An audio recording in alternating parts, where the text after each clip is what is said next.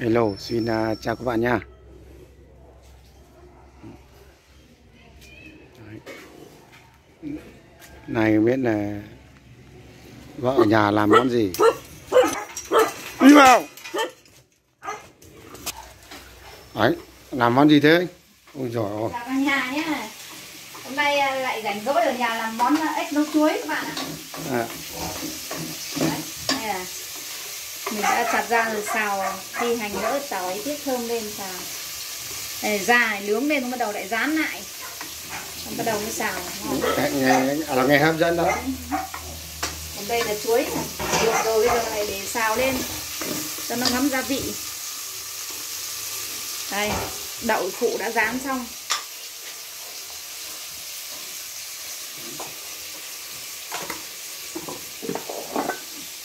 Thơm là trước cấu dừa thì có tí nữa cấu miếng tôm lá lốt xương sông thơm cho thêm nước không cho thêm nước không còn ít kia nữa nhiều vào. Nhiều.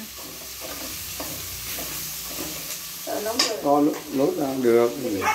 Có lốt ra được. không ai ăn nhiều cuối quá Đấy nhìn nè. Thơm không? Đấy. Đã thấy mùi thơm rồi. Nhìn lắm đấy để nó xem mà nhìn thấy cái món này nhìn thấy là thơm lắm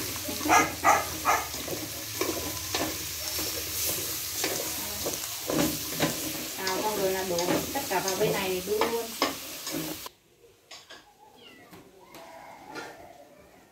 à mẹ ơi. Rồi rãi tỉa ít ờ, cành nhãn đi để cho hoa lan cho nó thoáng này ông ờ, bí quá nó hay sâu